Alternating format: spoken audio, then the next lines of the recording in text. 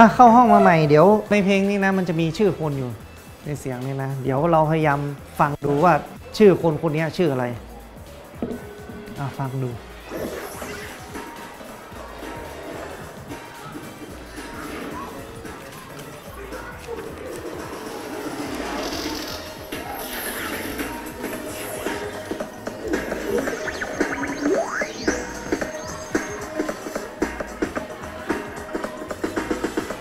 อาจะจบแล้วจะจบแล้ว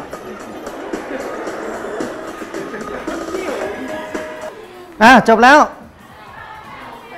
ใครได้ยินเสียงที่มันเป็นชื่อคนบ้างมีไหมได้ยินไหมเออไม่มีอะไรหรอกครูแค่อยากให้เรามีสมาธิเฉยมันไม่มีหรอกนะครับ อะโอเคนะครับเนาะวันนี้นะครับ วิชาคอมวิชาการตัดต่อนะครูจะมาสอนเกี่ยวกับ เรื่องเรื่องเล่าอะวันนี้เราจะมีกิจกรรมเขาเรียกว่านักเล่าเรื่อง ก่อนอื่นเนี่ยเวลาเราจะอ่าก่อนที่เขาจะสร้างหนังเนี่ยแต่ละเรื่องเนี่ยใช่ไหมเขาก็จะต้องเอาอะไรหนังสือหรือว่าอะไรครับ เนื้อเรื่องที่ที่เขาเขียนมาได้รางวัลซีรีส์บ้างได้อะไรเขาเรียกว่าได้รางวัลมาเอามาทำหนัง เพราะอะไรมันมีความน่าสนใจใช่ไหมเออมันมีความน่าสนใจ เป้าหมายของครูมีอย่างเดียวคือ เราจะต้องสร้างเรื่องขึ้นมา 1 เรื่อง แต่จะมี 5 กลุ่มนะกลุ่มละ 1 เรื่องจะได้อยู่ 5 เรื่อง แล้วเดี๋ยวเราจะคัดออกมา 1 เรื่อง เพื่ออะไรออกไปถ่ายทำ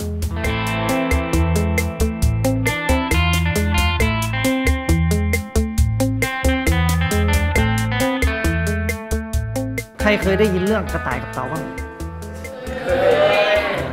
กระต่ายกับเต่า เรื่องสั้นๆ คือมีกระต่ายหนึ่งตัวใช่ไหม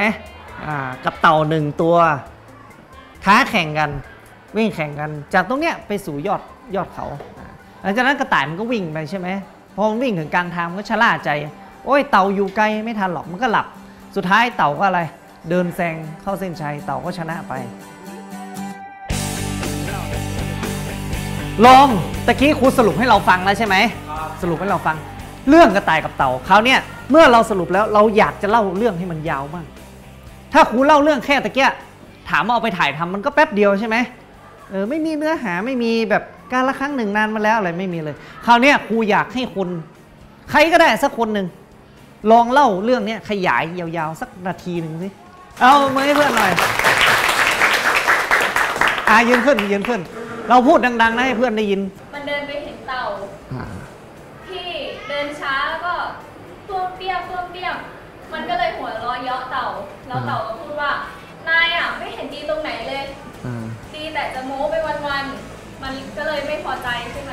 แล้วก็จากนั้นก็กระต่ายก็ท้าเต่าท้าเต่าว่าแข่งแข่งวิ่งกันไหม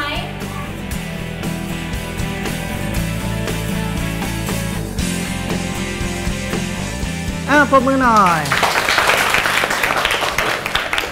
อะ ครูอยากจะให้เราแบ่งกลุ่ม เพราะเดี๋ยวเราจะมีกิจกรรมกิจกรรมหนึ่งนะครับ เดี๋ยวจัดกลุ่มเลยตามอัธยาศัยอยากอยู่กลุ่มใครจัดเลย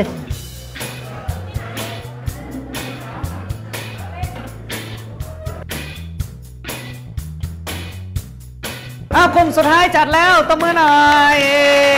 อะในเนี้ยจะมีเขาเรียกว่าสลากอยู่ 3 ชุดนะ มันอาจจะมีทั้งอาชีพ มีทั้งชื่อผักผลไม้ชื่ออาหารครูจะให้แต่ละกลุ่มเนี่ยจับไปกลุ่มละ 3 ชิ้น แล้วเดี๋ยวจะอธิบายให้ฟังว่ามันคืออะไรอะตัวแทนกลุ่มลุกขึ้น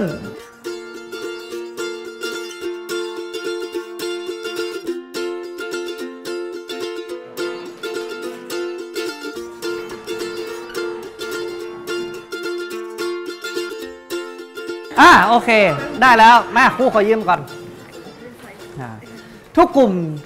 จะได้ไปอย่างเช่น กลุ่มเนี้ยได้ผักคณะเป็นหนึ่งอ่าเป็นเป็นเป็นหนึ่งชื่อนะครับอะคำสั่งครูนะนะที่อยากให้เราทำคือ แต่ละกลุ่มจะได้ชื่ออยู่ 3 ชื่อใช่ไหมอ่าให้แต่ละกลุ่มแต่งเนื้อเรื่องโดยสรุป เหมือนเรื่องกระต่ายกับเต่าที่ครูแนะนำไปตอนแรกนะนะอ่าสักสองสามบรรทัดก็ได้ ให้ได้ใจความโดยในเนื้อเรื่องนั้นต้องมีอะไรเอ่ย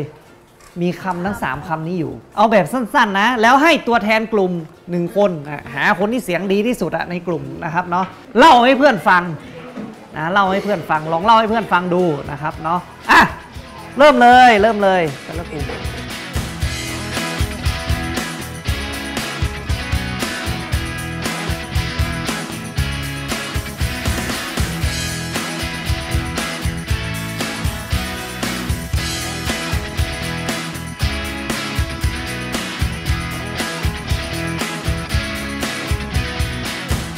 ลุ่มไหนเสร็จแล้วตบมือเลยนะ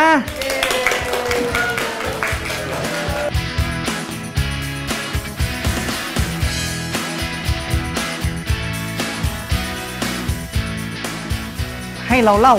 เนื้อเรื่องย่อๆนั้น ประมาณคนละไม่เกินเท่าไหร่ โอ้ยสามวิมันสั้นไปเอานาทีหนึ่งนาทีหนึ่งนะครับ ตัวแทนกลุ่ม อะตัวมือให้กลุ่มตัวแทนกลุ่มแรก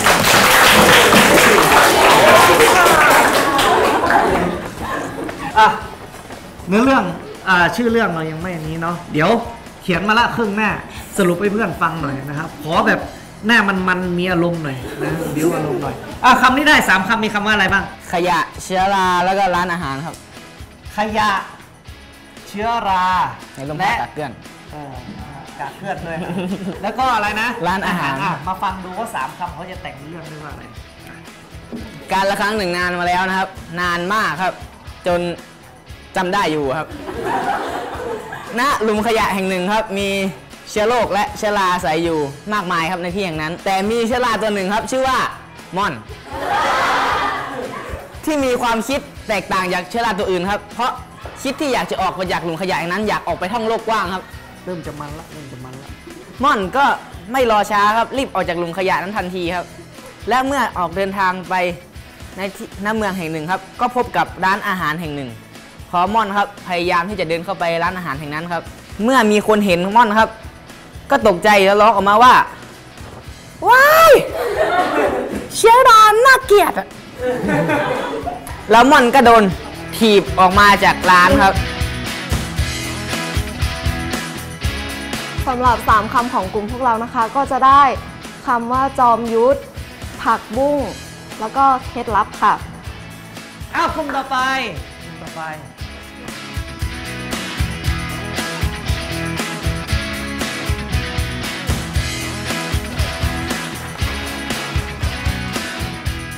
เอาแล้วนะครับ หลังจากที่เราฟังเพื่อนๆเล่าเนื้อเรื่องแบบย่อไปแล้วใช่ไหมอ่ากิจกรรมต่อไป เราจะต้องทำตัวเป็นนักเล่าเรื่องแล้วนะครับ ด้วยการเขียนบทนะครับ จากที่เราย่อตะเกีย ขียนให้มันยาวออกมานะครับ เหมาะสมที่จะเอาไปสร้าง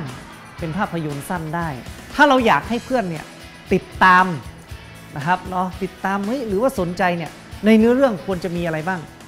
1. ความตื่นเต้นความตื่นเต้นมีความตื่นเต้น มีอะไรอีก ความแปลกความแปลกใหม่ มีอะไรอีก เข้าใจง่ายอ่าอ่านแล้วเข้าใจง่าย มีอะไรอีก เออมีบุตรพูดแทรกข้างใน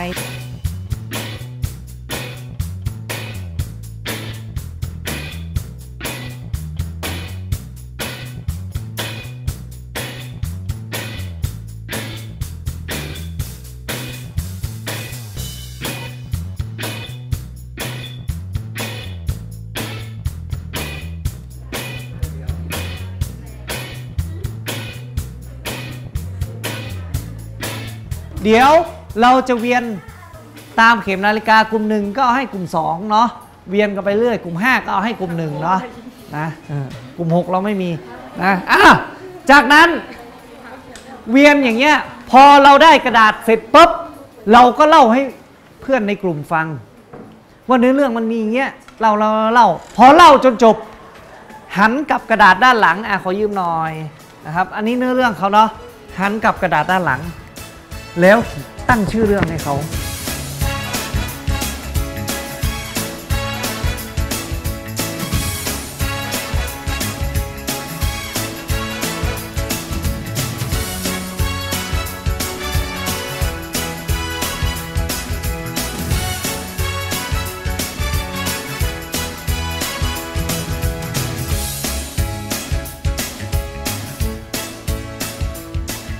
หลังจากที่เราแลกกันแล้วใช่ไหม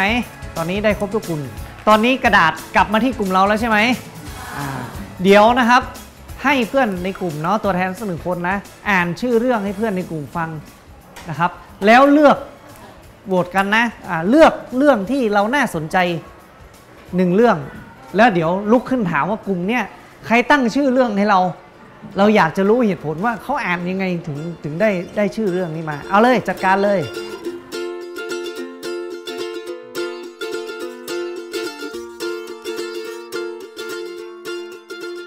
รกลุ่มไหนได้ ชื่อเรื่องแล้วตบมืออะตบทั้งกลุ่มสิสามัคคีหน่อย โอ้ได้ทุกกลุ่มแล้วอะเริ่มที่กลุ่มที่5ก่อนอะตัวแทนกลุ่มทิ้งลาไว้กลางทาง ทิ้งราวไว้กลางทาง สวยอันตรายค่ะสวยอันตราย กลุ่มไหนเป็นคนตั้ง กลุ่มไหนสวยอันตราย อะยกมือหน่อยยกมือหน่อย สวยอันตรายเอาปรบมือให้เพื่อนครับ สำหรับกลุ่มของดิฉันนะคะก็สนใจชื่อเรื่องล่าตำนานผักบุ้งไฟแดง ล่าตำนานผักบุ้งไฟแดง เออโอเค และแล้วก็มาถึงกลุ่มสุดท้ายอะตัวแทนกลุ่ม ชอบชื่อเรื่องว่าอะไรชอบชื่อเรื่องเชื้อโรคค่ะอ๋อสั้นๆ ง่ายๆ เชื้อโรคครูจะให้ในคาบนี้เลยนะครับ จะให้เราโหวตหนึ่งเรื่อง ในการเอาออกไปถ่ายจริง ถ่ายทำจริง เป็นหนังของห้องเราเลยนะครับหนึ่งเรื่อง เดี๋ยวจะให้แต่ละคนนะครับ จัดโต๊ะเป็นรูปสี่เหลี่ยม แล้วช่วยกันวิจารณ์ว่าเราจะเลือกเรื่องไหน เดี๋ยวครูจะถามคำตอบจากหัวหน้าห้องว่าสรุปแล้วเราเลือกเรื่องอะไร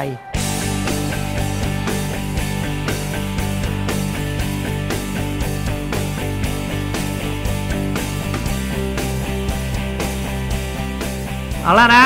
ครูเชื่อว่าตะกี้หนังเนื้อเรื่องของแต่ละกลุ่ม เวียนไปหมดทุกกลุ่มแล้วใช่ไหมเนาะเดี๋ยวครูจะให้หัวหน้าห้องออกมายืนตรงนี้อ่าหัวหน้าห้องออกมาเลยนะครับหัวหน้าห้องอเดี๋ยวจะให้เราดิสคัตกันก็คือคุยกันนะครับ ตอนนี้เรายังนั่งเป็นกลุ่มอยู่เนาะเดี๋ยวเราสามารถคุยกันในกลุ่มนี้ได้เลยนะครับเนาะลองแบ่งกันคุยลองแสดงความคิดเห็นกันดูว่า เนื้อเรื่องอันไหนมันเหมาะสมที่สุด อยากจะทำเรื่องไหนนะครับเนาะ โดยให้หัวหน้ากลุ่มแต่ละกลุ่มเป็นคนสรุปนะครับ ลองดูนะเราจะใช้วิธีการอะไรนะครับ ที่จะเลือกเรื่องออกมา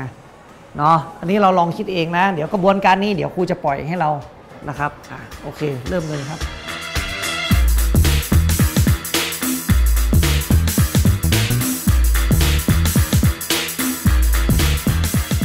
กลุ่มเชื้อโรคครับ ค่ะสำหรับการถ่ายทำของกลุ่มพวกเรานะคะ กลุ่มเชอโลกนะคะ ก็คือเราก็จะหานักแสดงมาหนึ่งคนนะคะ เป็นผู้ชายค่ะ แล้วก็เราจะมาทาตัวดำนะคะ เพื่อให้บ่งบอกว่าเขาเนี่ยเป็นชอโลกนะคะ เพราะว่าทาตัวสีดำๆแบบดำมากเลยนะคะ แบบ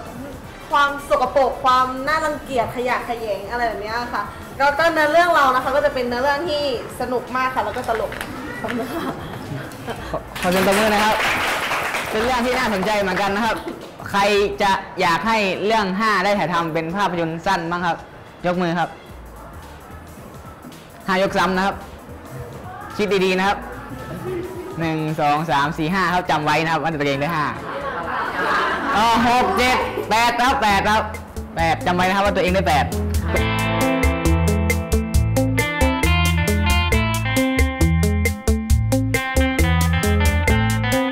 อะสรุปกลุ่มไหนได้เอ่ย ชื้อโรคนะครับอะปรบมือเชื้อโรคอีกครั้งหนึ่งอ่ากลุ่มเชื้อโรคเนาะ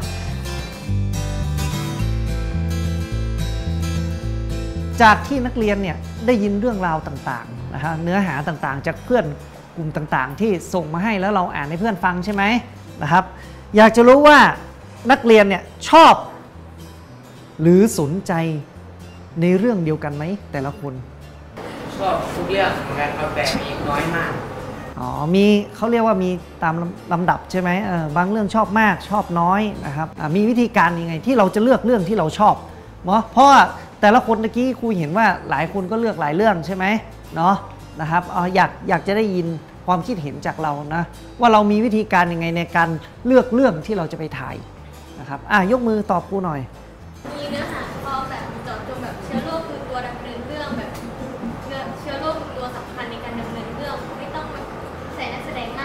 อ๋อ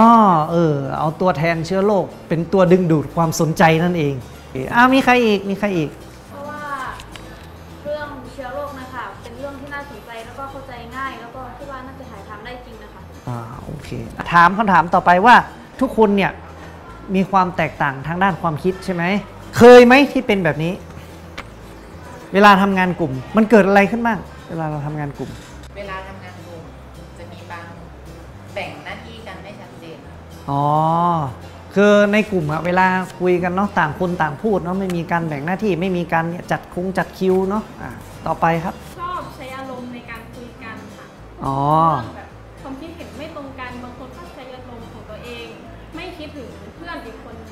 อืมอาจจะเป็นเพราะอะไรใช้อารมณ์ด้วยน้ำเสียงใช่ไหมระดับน้ำเสียง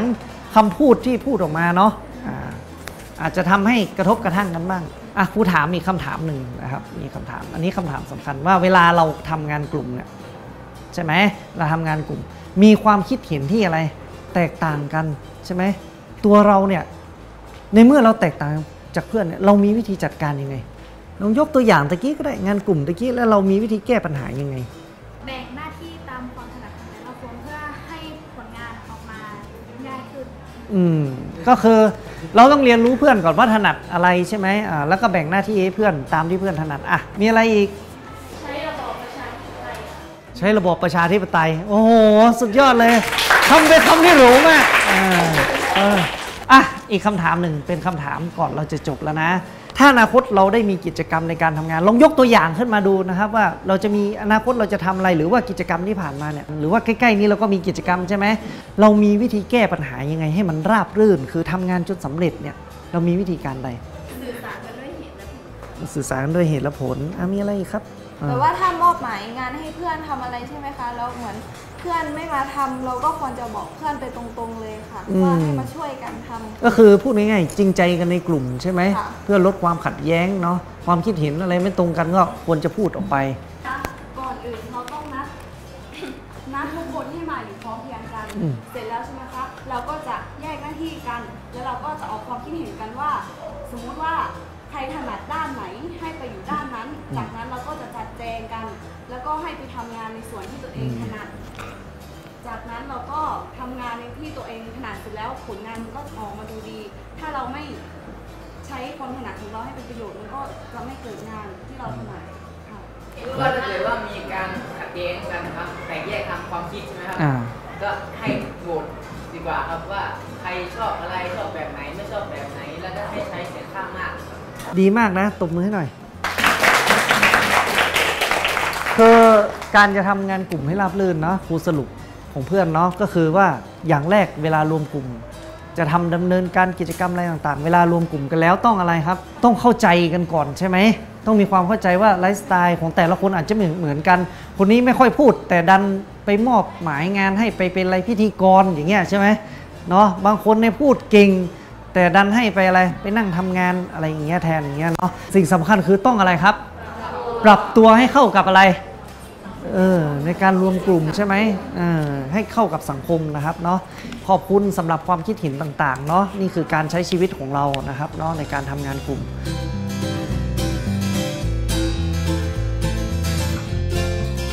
หลังจากนั้นเราก็ได้สั่งงานให้เขากลับไปทำต่อก็ทำพวก storyboard นะครับของเนื้อเรื่องที่เขาได้สร้างมานะครับหลังจากนั้นเมื่อเขาเขียน storyboard เสร็จ ผมก็จะให้เขานำ storyboard นั่นนะไปจัดทีมทีมงานของเขานะครับในการถ่ายทำเนื้อเรื่อง โดยเพื่อนทั้งห้องเนี่ยเขาจะช่วยกัน เพื่อไปถ่ายหนังมาส่งครูนะครับหนึ่งเรื่องก็เรื่องเชื้อโรค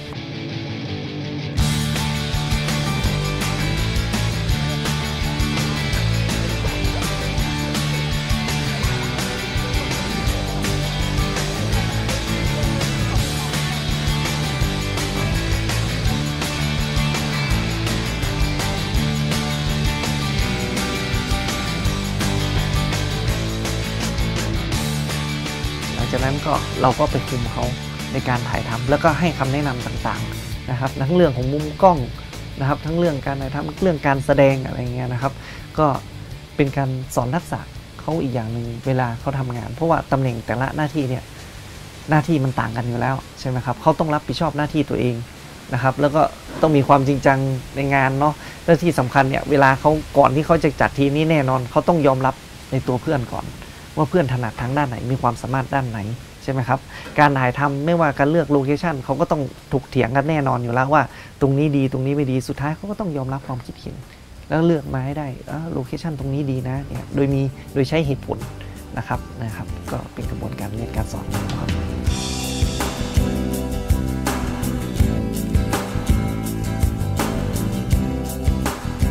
หลังจากที่นักเรียนได้ออกไปถ่ายทำวิดีโอแล้วใช่ไหมครับ เนาะเราก็จะกลับมาที่ห้อง โดยที่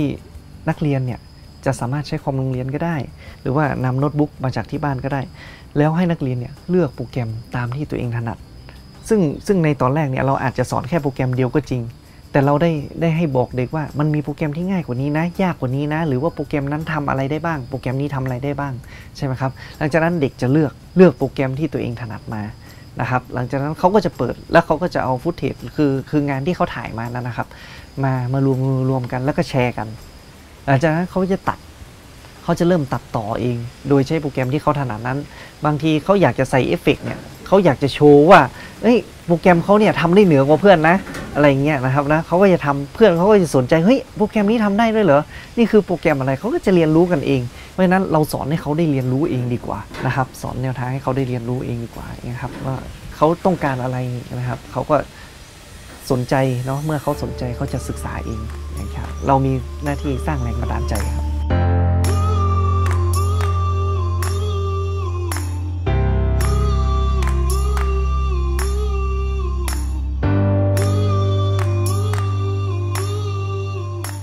คิดว่าเขาเห็นคุณค่าในในในคนอื่นนะ ผมว่าเขาเขาเขารู้ทันทีเลยว่าถ้าขาดคนนี้ไปอ่าวันนี้ตากล้องไม่มาเขารู้เลยว่าเขาถ่ายไม่ได้ใช่ไหมครับขาดขาดอ่าผู้กำกับไปเขาไม่รู้ต่อเลยว่าเขาจะไปยังไงทำให้เขารู้ว่าอ่าแต่ละคนเนี่ยมีความสำคัญ และเขาจะให้เกียรติกันในในหน้าที่ของแต่ละคนครับ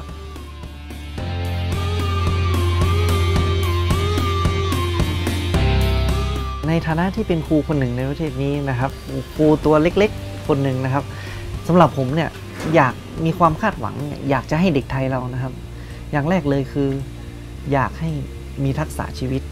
อย่างแรกนะครับ อย่างที่สองเนี่ยสิ่งที่อยากจะมีมากคือความคิดสร้างสรรค์ อย่างที่สำคัญที่สุดมีความคิดเป็นของตัวเองนะครับ แล้วก็สามารถนำความคิดของคนอื่นมาแอพพลายผสมกับความคิดของตัวเองออกมาเป็นสิ่งใหม่ สิ่งใหม่ในในสายของเทคโนโลยีที่ผมเรียนนะครับ ก็อยากจะให้ให้เป็นอย่างนั้นนะครับ